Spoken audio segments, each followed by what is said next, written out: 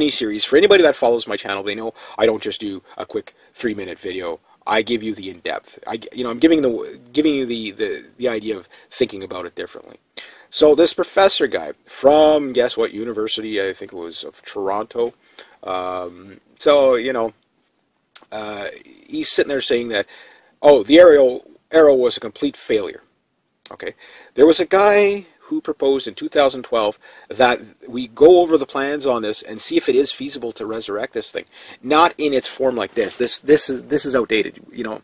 But the airframe, you know, most of the study and research and development, a lot of that stuff is still around. Like I mean, uh, it was ordered destroyed so the Soviets wouldn't get a hold of the technology. But the the thing is this is that a lot of a lot of people took the plans home you know, you know, people kept souvenirs, so to speak, and the surviving records. Uh, I mean, we could always dredge Lake Ontario and see if we can find the rest of the parts. you know, they have found parts of Lake Ontario from the Arrow program. Um, you know, because that's where they dumped a lot of stuff. Uh, you couldn't do that now, uh, and then the rest of it got turned into pots and pans. They must have been really nice pots and pans because they, they used some pretty extraordinary materials for this airplane for the day. Uh, you know, magnesium alloys and stuff like that. This was not you know, when we look at it now, we don't realize the amount of effort that went into this airplane. And this is the stuff that that professor, you know, he's. I'll tell you what he said first. Um, first off, he's saying that okay, it was over budget. Yes, there was mismanagement. I agree with you with that. If the, the, the company had been run a bit better, I still think the airplanes would have flown on the same amount of time, but they probably would have done it on a little bit less money. Was it over budget? Yes. The the com- and Avro was not used to staying under budget. That's why they went out of business. Again, management. But now let's get onto the ground floor where the airplane was built. Well, hey, this was pretty well organized. They tested every single aspect of the airplane before they built it, meaning there was no prototype. It was right into manufacturing. Okay. Now, when did the this is? Uh, they also said if they were to put it head to head with the, uh, you know, uh, you know, head to head with the um, F-35, if it were to leave from Vancouver, the F-35 would make it to about Winnipeg, uh, you know, and the Arrow, if it left from Vancouver, it would make it to almost Toronto, at you know, in the same amount of time because it cruises almost twice as fast. Okay, so um, he says no. He says uh, from uh, Ottawa to Hamilton in nine minutes. He says uh, if you go past, you know, like they say in the movie, you got to understand the movie does you know, add a lot of BS in there. You know, there's a lot of things that the airplane didn't do, but they're, you know, they, are building it up, right? They're, they're, they're, you know, they're, they're giving it a, a good. I mean, the airplane did have malfunctions, but not very many. Uh, most of it was landing gear related, like the landing gear doors. So, like stuff like that would have been refined. You know what I mean? They, they would have worked that out eventually. Um, the thing is, is that he said, okay, it only had a 600 mile range.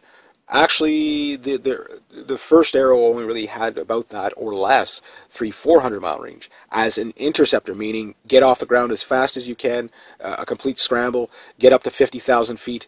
You burned up all your fuel. But an economy cruise, probably about 600 mile range, you know, on about, uh, that's almost five times the fuel capacity too. But this is in 1958, okay? Uh, the, the later arrows had a much longer range. And uh, apparently this guy should have his teaching license pulled. And I'll tell you why. Because I guess he never heard of drop tanks. that would have increased the range as well. Um, but the later variants, when the, the Orenda engines were ready, uh, you know, the engines were lighter and they were way more powerful. Um, this thing did accomplish quite a bit for the day. Even to today's standards, uh, the guy who's proposing who was proposing that the Harper government look at they, they the Harper government looked at it and said you know okay this guy's probably just living in fantasy land. This guy also said you know to be honest with you look I thought it was candid camera uh, coming to my door saying you want to you know yeah right you want to get the arrow going. I could take one look at this airplane and tell you that with modern technology, modern engines, modern avionics, this thing would not only be low maintenance because it has a stable airframe uh, has a high aspect ratio, it's going to cruise really fast.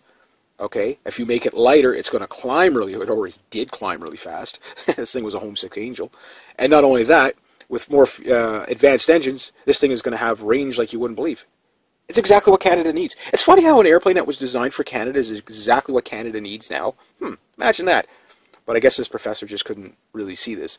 Did it? You know, You know, because he's looking. Most people look at the airplane as a budget. Okay, forget the budget. Yes, the budget was blown. We know that. But okay, when did we start the uh, F-35 in what 1995, 99? You know, when did the construction? You know, when when did that happen? 1998. Okay, well, even even so, okay, there's a few flying versions of the F-35. Okay, they're not in service yet, to my knowledge. They're they're not in service, and even if they were, there's only a handful of them. You know, they're just way too expensive. The proposal was that if they built this, they could build it for $12 billion over 20 years, and the uh, F-35 is going to be like $26 billion at the same amount of time. We get more airplane for the money that can do more things. The only advantage that I'd give to the uh, to the uh, F-35 is going to be VSTOL because you put the right radar on there, you could detect stealth. you know, I mean, the anti-stealth technology again, it, it's it's an obsolete unless they come up with a new. I mean, you can make the airplane stealthier in look, I mean, this thing had a lot of wing area. You know, and again, you'd think the professor would pick up on this. This thing has the exact same wing area, or slightly more than that is an Su-27. So if we grab the, the engines out of the Su-27, this thing suddenly gets a phenomenal range of 2,700 miles, or even more, because it's probably even more aerodynamic. Uh, I mean, this thing had like virtually no drag. That's why the cockpit's the shape it is. You know, they made they made it work. You know what I mean? To be as drag free as possible. So let's talk about some other things. I, I don't know how this man can call this thing a failure. Other than, if you look at the flight logs, there was 65 flights in total. Okay, there was a few. There was uh, a few landing gear mishaps. One where uh, the air, the airplane actually, uh, you know, the, the, doors didn't open and it belly landed. The other one, it ripped the landing gear off. Uh, next to that, uh, sometimes the nose door uh, for the landing gear wouldn't close. stuff like that that's about the uh, there was very little failures on this airplane because it was designed so incredibly well uh, again it went from drawings to, to manufacture. There was no prototype. And comparing what I just said about the, uh, what, 15 or 20 years that the, uh, almost, uh, well, at least 15 years that the F-35 has been in development, this thing was flying, okay, with almost the same amount of variance as the F-35 is now in four years. I think that's quite successful. you know, considering there was no prototype. It was right to manufacturing. Now, you could argue, okay, well, they became prototypes because they changed the design as they went. But they had all the jigging and tool. They just had to tweak it, right? So it wasn't really uh, a, a, prototype. It wasn't, okay, this is... I mean, if you look at the uh, T-10, which was the Su-27's prototype, it looks nothing really... It looks similar to the, the Su-27, but it doesn't look like it at all. They're, they're different. If you look at the uh, YF-17, which was the uh, FA-18 or you know, it, it looks similar, but there's a, you can distinctly tell they're different aircraft. You know, one's a design concept, you know, to just see if it'll fly. The other one is, you know, the production. Well, this thing was production. You know, so this this university guy, I, I don't see where he think. Oh, people over romanticize it. Yeah, that's true. Um, you know, people think, oh, it'll fly again because it. But he's thinking of it in this version. You know, again, I've made the, the cross reference with the Russians. Uh, they start the Su-27 to the Su-35. There's almost nothing, you know, that they share in common. They're completely different airplanes, but the design goes back to the Su-27. Well, the arrow. We put a bubble canopy on that. We solve a lot of problems. We put a, a 25 millimeter cannon in the nose, mounted exactly like the CF-18, right where it should be. Uh, let's say your uh, HUD goes out you know, as long as the cannon works, you can still, you know, put a little dot on the, the windscreen and say, okay, well, if anything's on that dot, you can just squeeze the trigger and blast it away within XYZ, you, you know, World War II style, but it, you can make low tech, high tech. You need both. Um, change these nacelles a bit, you got a Mach 3 interceptor. Bomb bays, well, there, there's, you know, that's what gives you a lot of extra mileage. You can put fuel in there if you wanted. Uh, you can attach hard points on the wings. You can attach hard points along the body, or you can put everything internal and keep it nice and clean and get the range and make a patrol aircraft. Uh, what happens if uh, we put uh, CF-18 engines in there, which are about 26,000 pounds thrust? The Orenda engine, I think, was about the same, about 26,000. Some say 30. Again, what was it tweaked to? What variant? You know, like, I mean, at, at what time? I mean, the airplane got tweaked quite a bit, you know.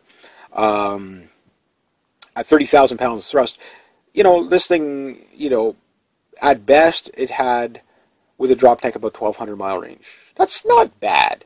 But that's the same as the F-18. But the performance difference between this and the CF-18, well, it's night and day. This thing was a throw. This thing was uh, very, very fast. It was a go fast airplane. It might not. There's no way it would turn with a CF-18. The CF-18 uh, to me, can outfly the F-35. You know, uh, especially the CF-18. The FA-18 and the CF-18 are not the same airplane. Canada has taken the CF-18. We built it uh, here under contract, but we also changed the design a bit to suit Canada a bit better. The problem with the CF-18 is it's just too small. you know, you can't put everything in it that you need. Uh, you know, so things are hanging off the airplane, uh, you know, stuff like that. But the airplane does everything. It's an awesome workhorse of an airplane. Has a great roll rate. It's very snappy. Uh, does excellent down low. Does not too bad up high. Doesn't do as high as well uh, uh, as well up high as the F-15, but it does better down low than the F-15. It doesn't do as well down low as the F-16, but does better up high. So the uh, CF-18 is kind of the, you know, that that you know, in the middle airplane. But just the design of the CF-18 is still to be beat in a lot of ways. You know, because you could take that original concept and do like what the Russians do. Now, the Americans kind of did that with the Super Hornet. Uh, Super Hornet, I, I would probably put it as a, a contender, but I think the Su-35 would be better for Canada than the Super Hornet. Why? The range, uh, the weapons load. Uh, it's a bigger airplane. Canada's a big country. We're going to need a big airplane. Dimensionally, this is about the same size, a slightly bit bigger than that as an Su-27. Now, for this guy who said, uh, you know, this this so-called professor who said, uh, no, this it's a pipe dream to, you know, this thing is, you know, it was a failure. It wasn't a failure. That's why it never got off the ground, so to speak. Uh, that would have this thing, if we would have exported it, everybody would have bought it. Oh, there were no orders. Were, eh, I don't know about that because in the aero aerospace uh, engineering, the designers were basically just like, oh my, you know, if the if this thing was such a blunder, okay, half the staff wouldn't have got scooped up by NASA. NASA knew what they built. you know, they knew what they built. They're like, uh, we need those guys. And look at how NASA flourished after. Hmm, I wonder how they got to the moon. Yeah, there was a lot of Canadians that worked on that. That worked on that. you know, th- these are things in history that you know uh, people. You know, they had to. You know, they canceled an excellent airplane. They had to. Uh, you know, they had to make it sound like it was a piece of junk. You know, but it wasn't by that day's standards. Today's standards, again, it wouldn't hold up because the technology is way outdated. But the airframe is still a thoroughbred. It don't matter what, you know, it's a Buck Rogers airplane no matter how you do it. So I'm going to start talking about some numbers in the next video. Okay, so this is the second part. I, I do mini-series. For anybody that follows my channel, they know I don't just do a quick three-minute video. I give you the in-depth. I, you know, I'm giving the giving you the, the, the idea of thinking about it differently. So this professor guy from guess what university? I think it was of Toronto. Um, so you know, uh, he's sitting there saying that, oh, the Avro Arrow was a complete failure.